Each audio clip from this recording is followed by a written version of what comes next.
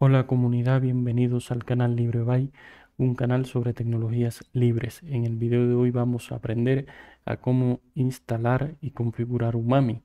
Umami es un sistema de analítica y estadísticas web sencillo, fácil de usar, que respeta tu privacidad. Es desarrollado en Node.js y permite almacenar la información en MySQL o PostgreSQL.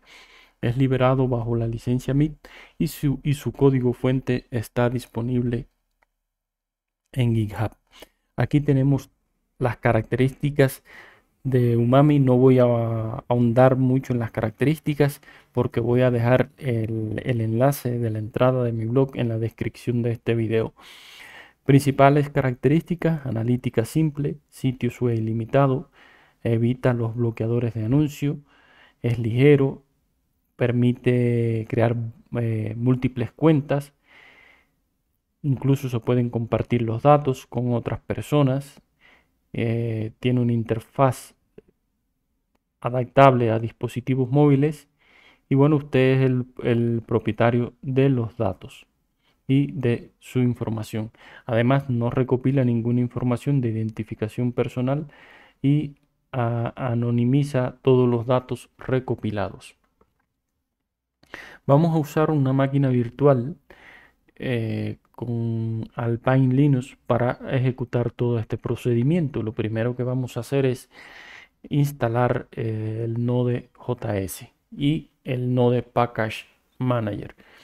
Yo voy a acomodar aquí la voy a acomodar la, las pantallas para tener mejor visibilidad y como pueden ver esto es un Alpine Linux, una máquina virtual y el primer paso que vamos a hacer es instalar Node.js y Node Package Manager.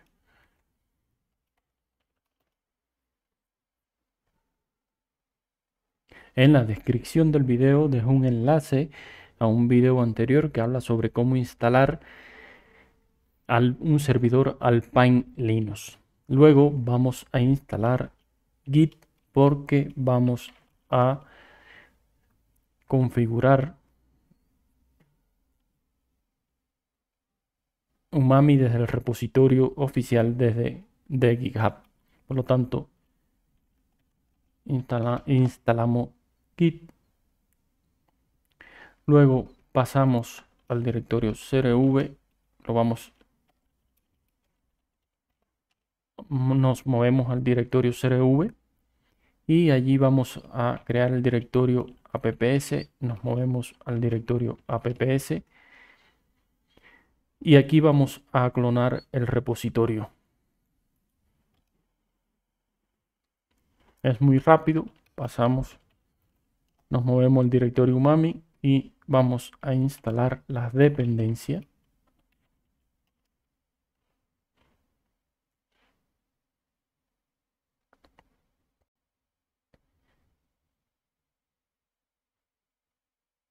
Mientras se instalan las dependencias, yo voy a instalar MariaDB.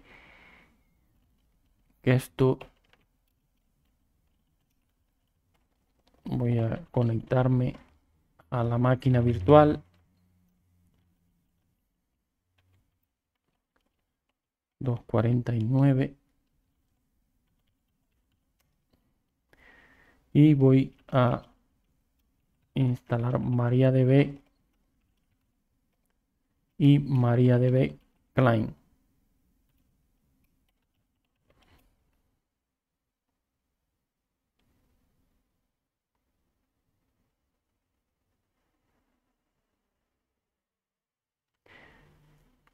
Inicializamos el servidor de MariaDB.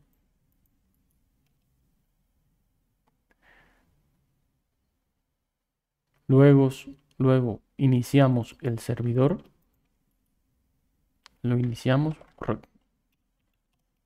comprobamos el estatus o el estatus, el estado en la descripción del video dejo un enlace a un video anterior que habla sobre cómo instalar MariaDB en, eh, en Alpine Linux. Este script lo podemos ejecutar para mejorar la seguridad básica del servidor de base de datos. Yo voy a a obviar este paso, no lo voy a ejecutar. Ahora nos vamos a conectar al servidor de base de datos. Creamos la base de datos.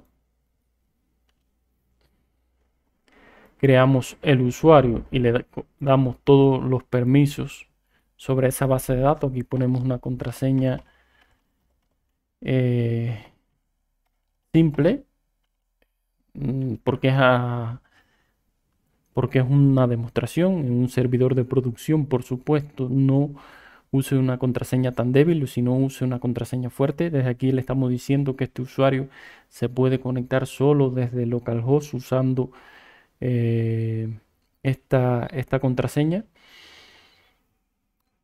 Desde localhost lo que quiere decir que nuestro servidor de de aplicaciones, en este caso, caso Node.js y el servidor de base de datos están en el mismo servidor físico, en la misma máquina virtual o en el mismo VPS. Bueno, ya hemos, eh, vamos a ejecutar este comando y aquí vamos a pasar a decir que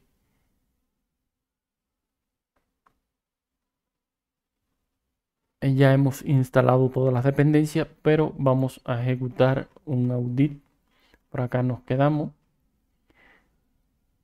Un npm audit fix para corregir problemas de seguridad con las dependencias y aquellos, digamos, aquellos fix, aquellos fix que no que no rompen, digamos, la compatibilidad del sistema eh, con el sistema en este caso con Umami. Ya hemos instalado todas las dependencias, creamos el usuario, ahora le asignamos todos los privilegios, refrescamos los privilegios y salimos. Lo próximo que vamos a hacer es desde aquí vamos a crear las tablas para ello los desarrolladores de Umami nos dan un script que nos facilita el trabajo. Y por supuesto aquí vamos a usar el usuario Umami, la base de datos UmamiDB y aquí vamos a entrar la contraseña que pusimos. Perfecto. Ahora debemos configurar el, la, conexión a la base de datos. Para ello usamos el fichero .environment que yo lo voy a crear directamente aquí y vamos a poner aquí la los parámetros de configuración como yo estoy usando MariaDB voy a usar el driver MySQL, Umami, la contraseña 123 123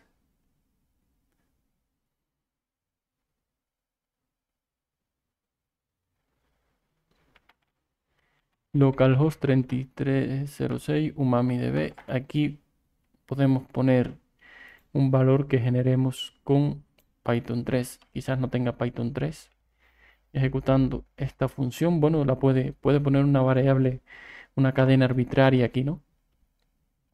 Yo lo voy a poner un 2, 3, pero puede generarla eh, usando Python y ejecutando esta sentencia de Python. Una vez que tenemos esto, vamos a construir la aplicación con npm build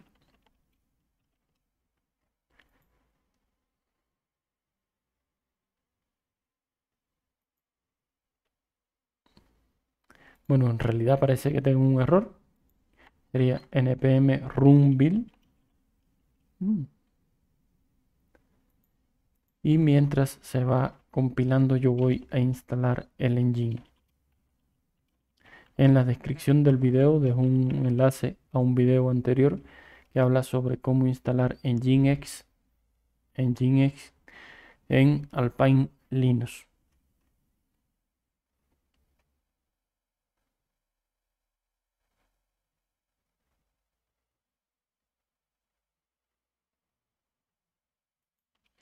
Vamos a instalar netcat apk series Necat.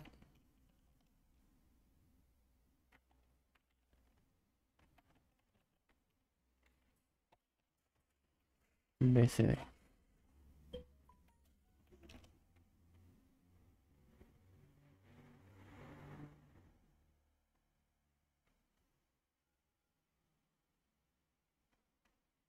Tengo que arreglar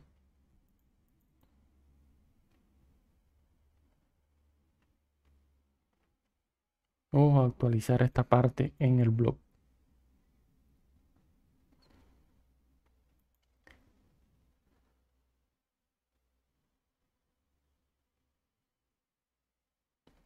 Bueno, ya hemos eh, instalado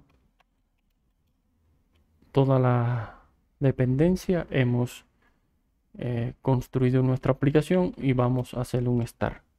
Como pueden observar, está disponible en la dirección eh, el servidor está escuchando en la dirección 0.0.03000.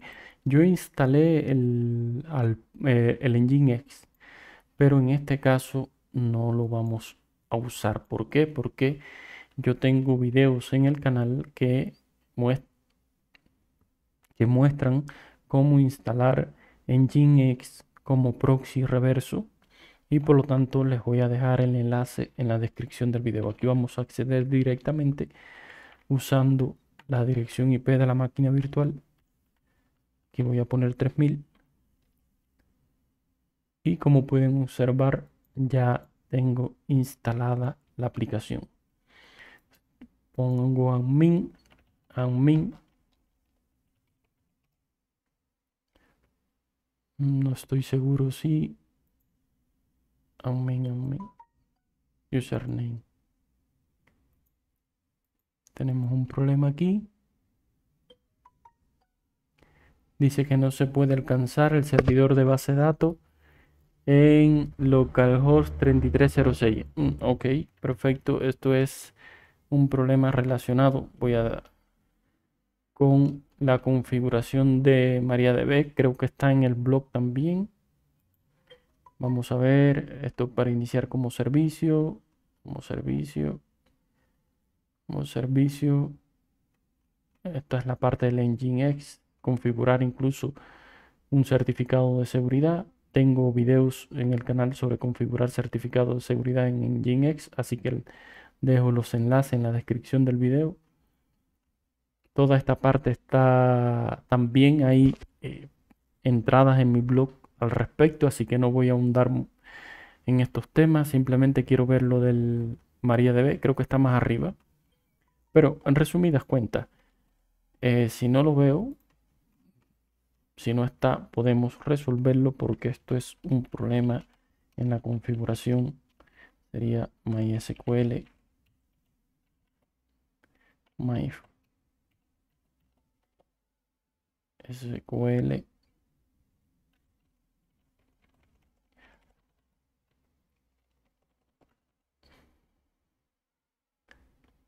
Dentro de MySQL no tenemos nada, pero my.cn pues, sí tenemos.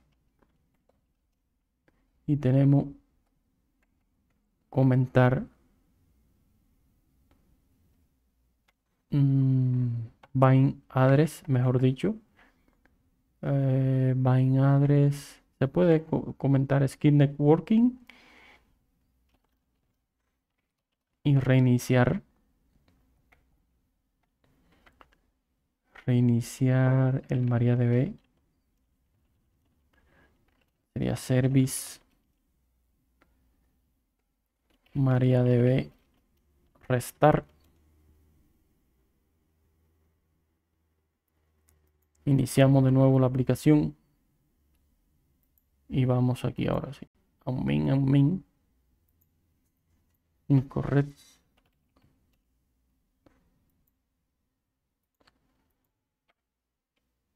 Vamos a ver si es admin, admin, incorrect username and password.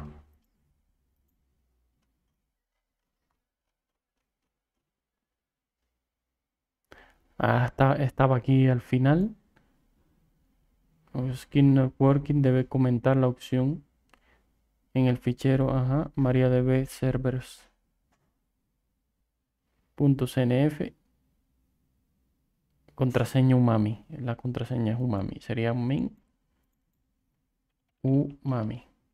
Como pueden observar, este es el dashboard. El dashboard. Y aquí tenemos el dashboard, tenemos las configuraciones, las cuentas. Puede crear cuenta. Yo recomiendo cambiarle la contraseña lo antes posible. Aquí en profile, username, change password, le cambia la contraseña lo antes posible. Vamos a ir al dashboard, al dashboard. Vamos a las configuraciones y aquí agrega un sitio web. Aquí pone un sí, un nombre cualquiera.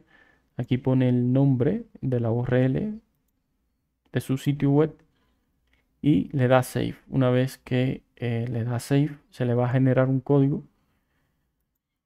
Vamos a poner, a poner un ejemplo. Si yo pongo, por ejemplo, mm, que este es otro de mis dominios, libre test.tix.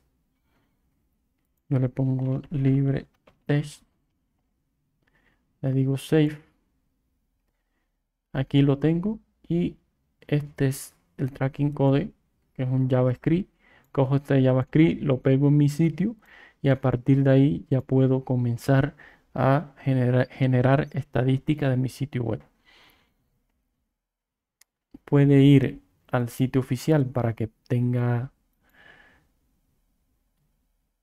una idea de las cosas que ofrece, tenga más información, incluso hay un, un demo que puede observar. Actualmente yo lo tengo funcionando, me gusta mucho, me da la información que necesito, información de las páginas más vistas, los, los referers y los países. Digamos que esas son las cosas que más me interesan a mí, no, no, no necesito tan detallado. Bueno, esto es una alternativa ligera y que me gusta mucho a una alternativa a Google Analytics. Y por supuesto es software libre, respeta tu privacidad también.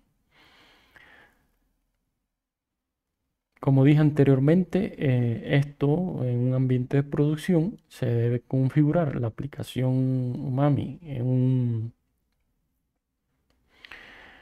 se debe configurar y delante se debe configurar un proxy como Nginx. Bueno comunidad, esto es todo por hoy. Nos vemos en un próximo video para seguir hablando sobre tecnologías libres.